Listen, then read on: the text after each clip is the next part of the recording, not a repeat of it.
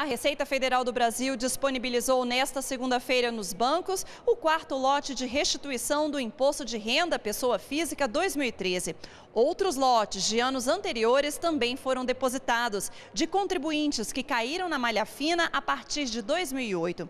Os valores depositados somam mais de 1 bilhão e 400 milhões de reais, de cerca de 1 milhão e 300 mil contribuintes. Esses valores vão ficar disponíveis nos bancos no período de um ano ano. Após esse período, caso o contribuinte perca o prazo, ele deve preencher um formulário online chamado Pedido de Pagamento de Restituição.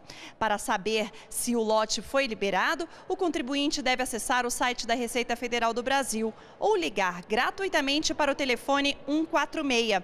A Receita Federal também disponibiliza um aplicativo para tablets e smartphones. De Brasília, Daniela Almeida.